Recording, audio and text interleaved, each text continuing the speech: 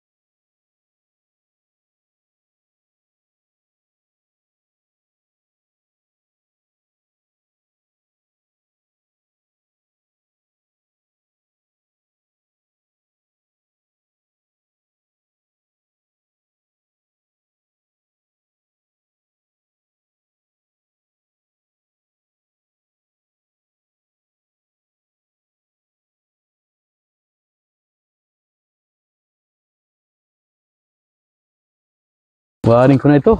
Tay, bakit mo kinukuha yan? Hindi Aya. yan sa atin. Hayaan mo na anak at hindi man sa atin ito, hindi man alam ng may-ari. Tay, mahuli tayo niyan. Hindi yan sa atin. Nagpaalam na ako anak sa puno. Tara na.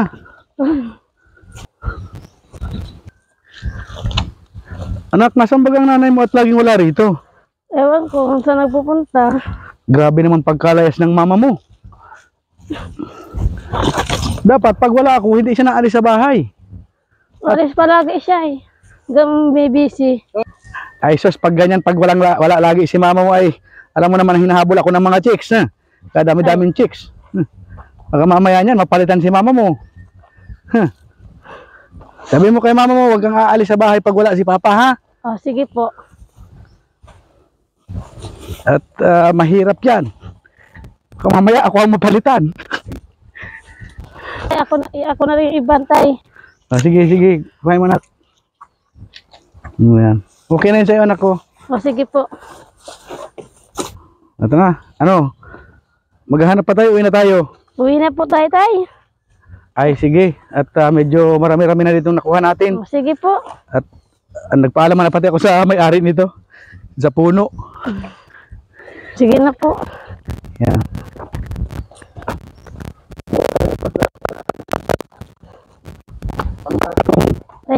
Mahirap anak pag walang, wala laging panggatong sa bahay.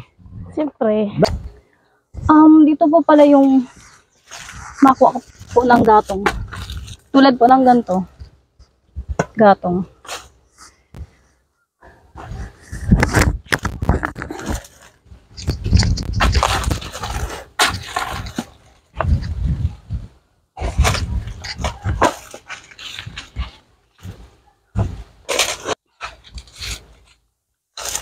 Ang na lang. Walang ulan. Kasi kung umuulan na naman, na naman akong makukuha ang gatong.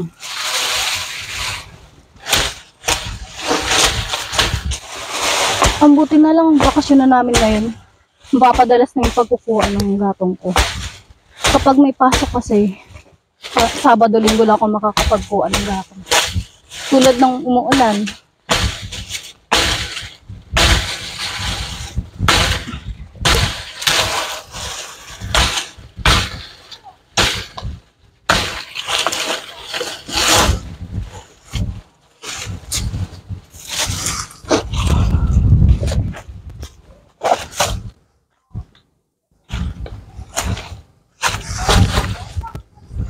si Papa mamay dadating na yun kasi galing sa isda. sa pagtinda ng isda. Kaya kailangan kong magkuha ng gatong para pang mamaya may pangluto kami.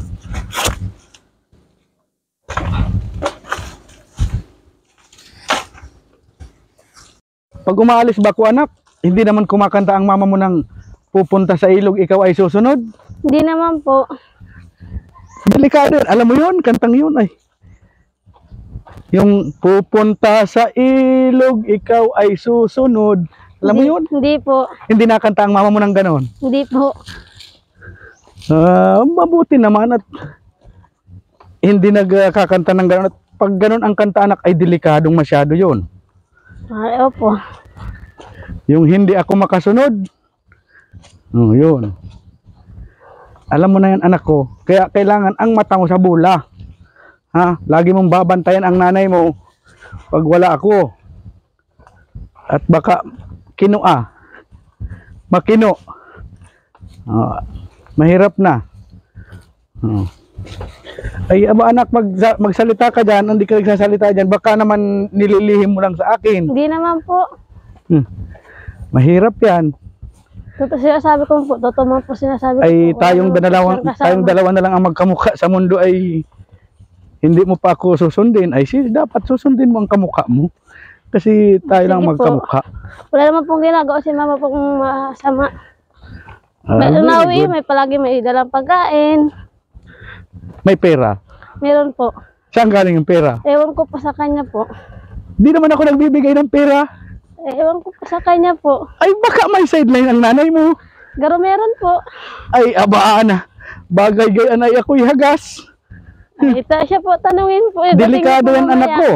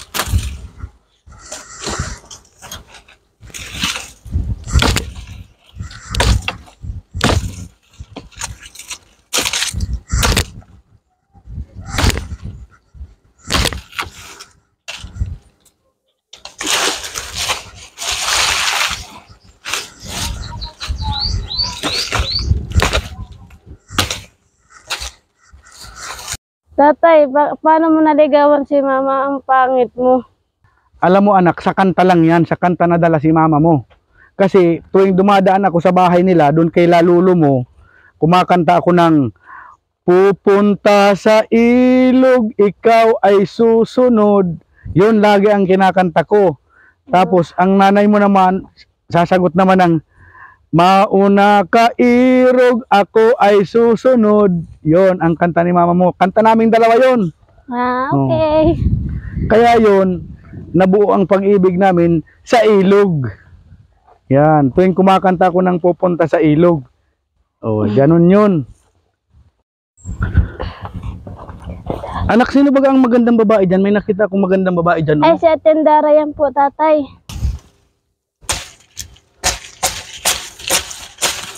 Ah, ang ganda niya na ano. Ay, syempre po, kasi sa niya po.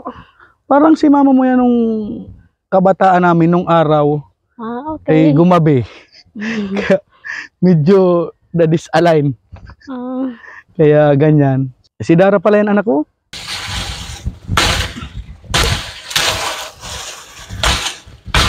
ay, Ay, syempre po. Sa Ate Dara po yan. Ah, ang ganda no, sexy pa.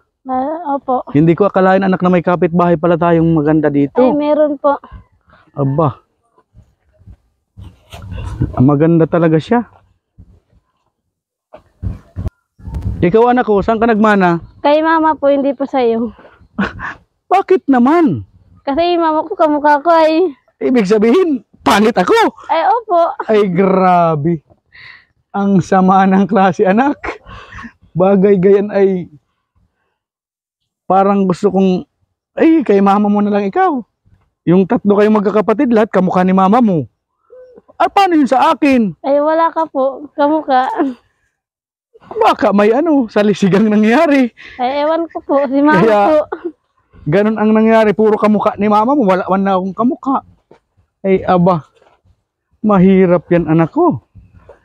Wala ka man nang nakuha sa akin. Puro kay mama mo. Meron ka bang pet na payo mo? Ano anak, ang sabi mo? Sabi ko, yung may pet ka. payo mo. Wait, sa payo na ano? ang nakuha mo sa akin? Wait ko? Oo. Ay, grabe. Grabe naman pagkasama ng mukha. Ibig sabihin, may itsura sana ako. Meron po, sana. Kaso, ang sama. Opo. Ay, aba. Grabe naman anak ko. Puro ka kay mama mo.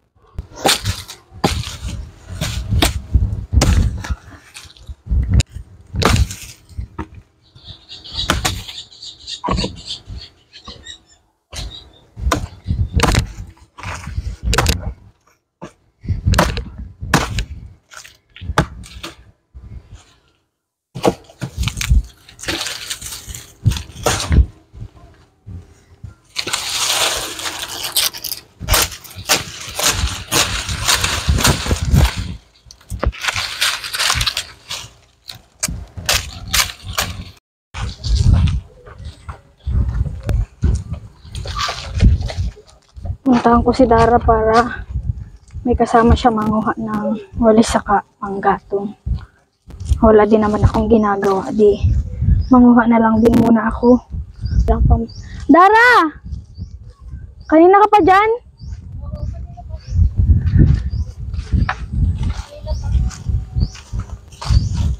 Ang dami kami natuwang gatong. Tapos, ano, pang Nakarami ka na pala. Ako masimula pa lang. Di mo naman sinabing andito ka. Di mo nakainkat ako.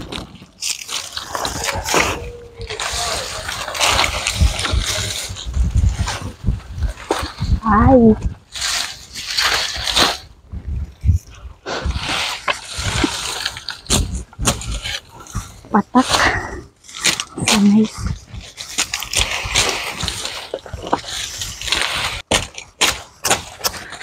Sino yung baga kita, Dara?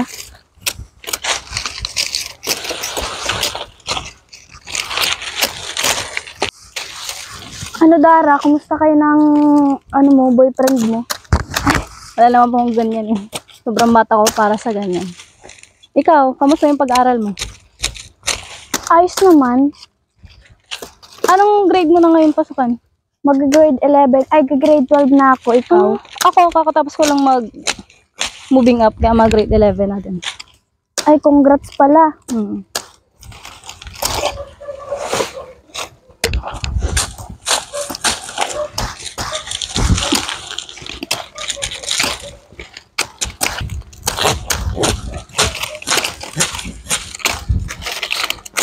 Um, ate ba, magkano na po pala yung walis tingting ngayon? Nasa 20 or 25 man ata ngayon ang presyo ng walis tingting. Ay, siya. Sobrang hirap para sa murang halaga lang. Kaya nga ang hirap-hirap gawin pero ano mura lang. Hmm, Pero okay lang pa kahit ano, mura basta may ma may Basta may pera. kita no. Hmm. Kahit pa paano makakabili na tayo ng bigas nito.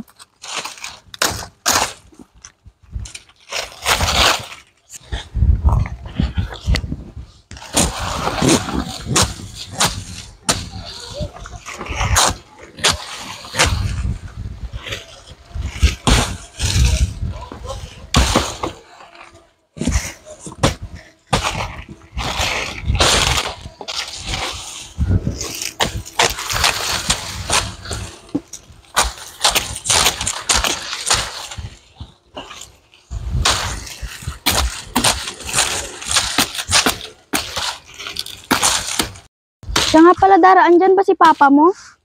Ay, opo, sobrang tagal na. Sobrang tagal nang umuwi dito kasi, ano, kaming dalawa na lang kasi, ano, ng kapatid ko sa bahay, kaya sinamahan na kami. Buti naman yun, para may kasama kayong lalaki, para safe kayo dyan. Mm-mm. Mas, mas maganda kasi kapag may kasamang, ano, magulang, tulad ng lalaki para safe. Oo nga.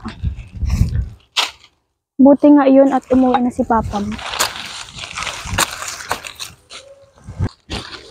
Si mama mo, mo, mo nga pala, nasaan ngayon? Ay, sobrang tagal na nang nawala si mama. Bakit? Nasaan si mama mo? Ano, ano wala na, kasi, si ano, si, si kuya, yung isa naming kapatid, nawala. Dahil din sa gantong nyugan, kasi nahulog. Tapos yung parang di na, parang di kinaya ni mama, yun, sobrang na-depress si mama, kaya yun, inatake sa puso. Ah, Kaya ngayon, parang kami na lang, kami dalawa na lang ni Bea. Tapos, ano, tapos umuwi, buti na lang umuwi siya, papa, kasi wala kaming kasama, dalawa na lang kami. bata ka pa lang, naiwan na kayo ni mama mo. Mm, parang ano, grade 3. Grade 3 pa lang ako. Tapos yung bunso namin kapatid si Bea. Ang hirap pa naman pa ma... lang? 9 months pa lang. Ang hirap pa naman ma... Wala ng magulang. Tulad pag ano, babaeng nawawalan. Kaya nga, syempre, nasanay kang kasama mo yun. Hmm. Baka may nag-aalaga sa'yo. Kaya mahirapan ka din. Buti na kaya mo siya. Naalagaan si Bea. Kinaya naman, pero sobrang hirap. Pero kailangan, kailangan kayanin. Yes. Kailangan magpakatatag. Hmm. Ikaw, Ate Ibanez, kamusta ka po? Ano, okay naman.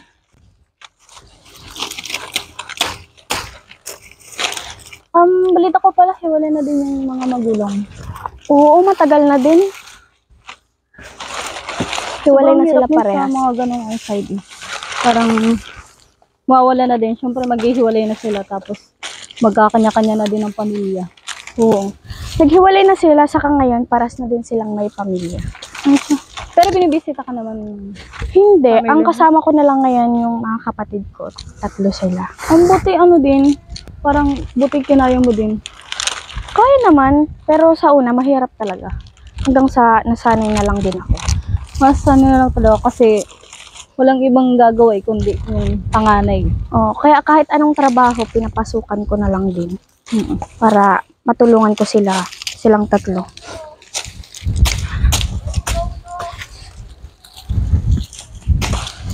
Ikaw, anong kinabu kinab ah, kinabubuhay nyo dito ng kapatid mo? Um, dito, Nung nabubuhay naman, papa mo. nabubuhay naman kami dito kasi tulad dito, bundok, ano, sobrang daming mga gulayin. Yan, talbos kamote, kahit anong, makabili lang bigas, mag, mag ano lang, mag raket-raket, maglalaba, ganun. Tapos Sabagay. kung ano man, kung ano pang mga ibang dapat rakitin, niraraket ko para makabili ng bigas. Um, tulad nito, ano, sa pagkukuha ko ng nahulog na ano, palapa. Nakakakuha ta kami ng pang bigas dito. Yung ginagawa ng walis, walis. tingting. Buti naman. Mga ganito pag may mga nyog, di ba? Hmm. Talagang Ito na rin kinasanayan namin. kumuha. Si nanay, mahilig din sa ganito kaya sobrang naano din ako. Buti marunong ka, maaga kang natuto sa mga gawain. Bata pa lang ako, sobrang dami ko ng alam. Mas lalo na sa mga gantong bagay. Bago umalis si mama mo, natuto ka na. Sobra. Kasi, ano, kailangan, kailangan ano eh, kailangan tumayo sa sariling paa. Yun. Nakatuto ako dahil sa, sa, kami lang mag, kami lang mag-isa, dalawa ni Bea. Walang nag, ano, walang umaanong ano, mag, Naman ako ko sa'yo kasi kaya mo din. May mga kagaya ko din palang na kaya kahit mag-isa lang, natataguyod ang kapatid. Hmm. Feeling ko madami ding gantong mga, ano eh, katulad natin. Oo, kaya nga dapat lakasan din natin ang loob natin kasi hindi lang tayo ang gantong buhay. Hmm. May mga mas malala pa sa atin. Tiwala lang tayo sa Panginoon. Way always. Ay, ang init.